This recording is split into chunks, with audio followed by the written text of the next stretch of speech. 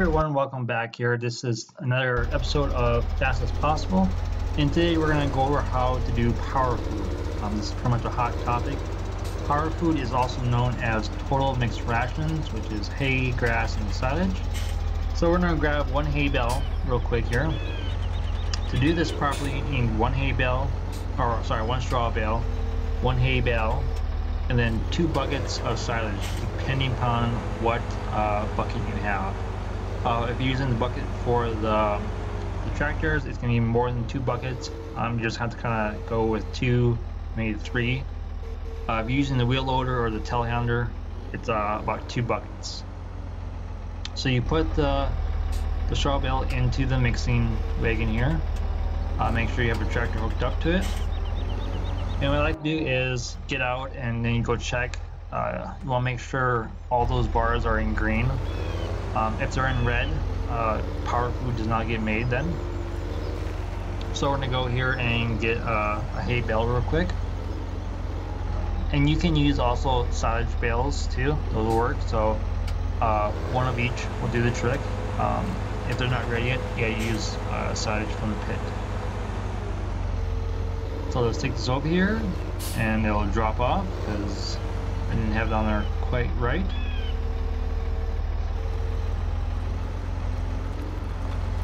Alright. Sooner or later we'll get it. I'm hoping they do fix the, the collision with bales because if you try to get two on there, one will always flick off and it's, it's a pain in the butt, so. Alright, we'll line up here and get this one in the mixing wagon. And there it goes. So go back and check real quick and you can see that the hay, that straw bale is in red. That's fine. Once you start adding silage to it, it's going to all go, go down and equal out to what you need. So if you do have silage bales, go ahead and use one.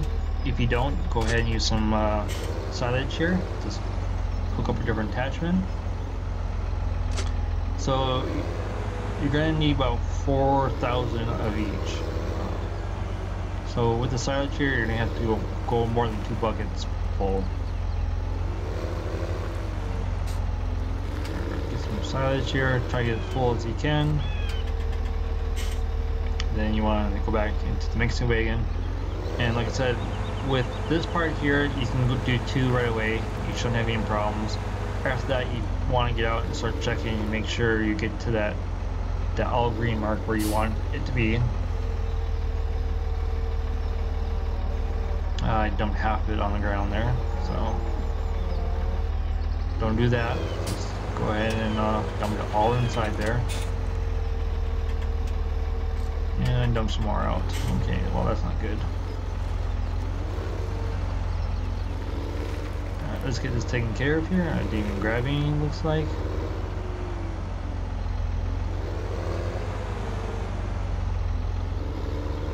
It's like a bunch of hay right there off to the side there that's been um, already processed.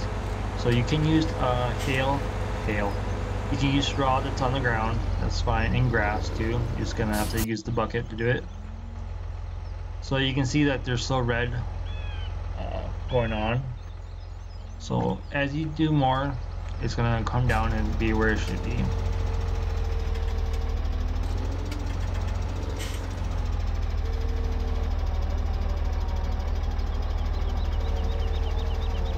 Let's get in our bucket here. Let's see what it's at. So as you can see, once you get your your uh, bars in, within the green, within the the arrows there, is that's where you want to be at. And that gives you the, the proper mix for uh, power So we're real quick here, we're gonna uh, get some more silage here. I'm trying to get what's on the ground here.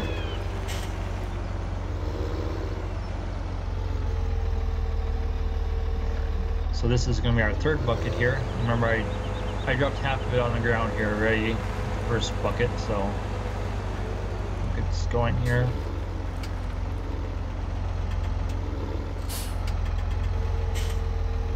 And we're to dump it in.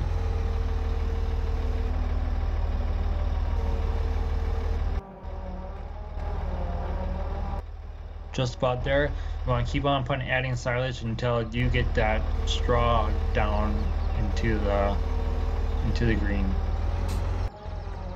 So it's going to take another another bucket or so.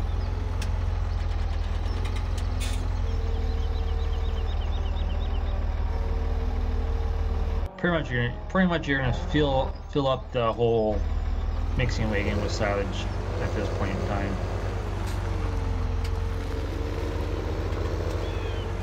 We're gonna grab one last bucket here from the pit.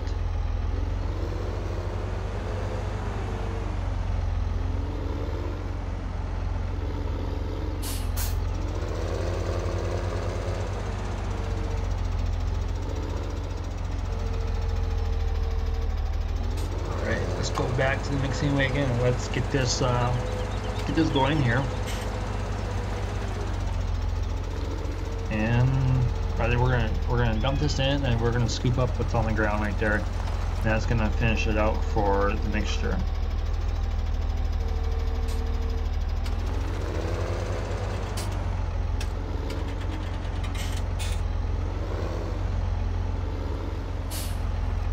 Not really straight there, but that's alright. We're we get it. We'll get it in.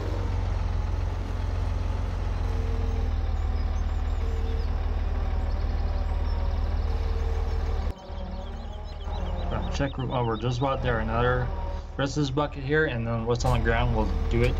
So like I said um, depending upon what bucket you have it may be two to four buckets depending upon what you have. And like I said just go out and keep checking it and see if it's in the green if it's not just keep adding more silage.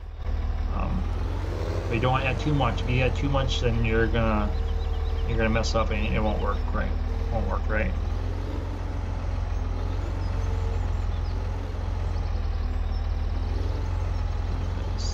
last few bits here. Just put it in. I'll hit the side of the mixing wagon. And we'll put it in and this should be it here. Alright, let's get down. Alright, so you see that we're all green.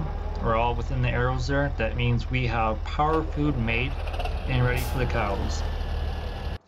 So we'll head over to the cows. You can see down here, I already have some power food, but it's in the, like the orangish color. So we're going to put the rest in. Um, just note that it will also fill your silage and hay up to. And then 40% or so goes to power food, so just be aware of that.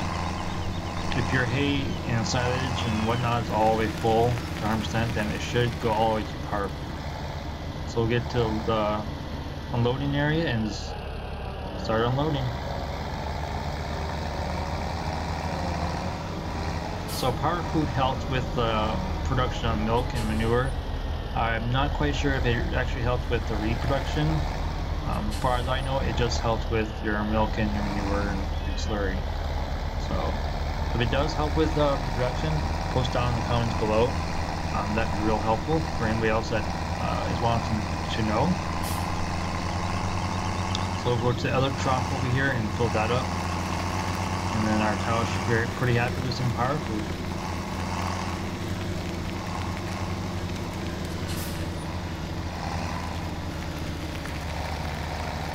Unload here real quick.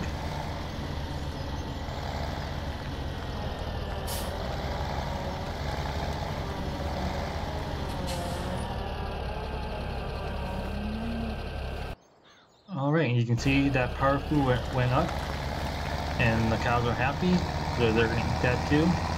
And that's it for this episode, guys. I hope you guys enjoyed it. Uh, this is fast as possible for Farming Simulator 17. You guys have a great night.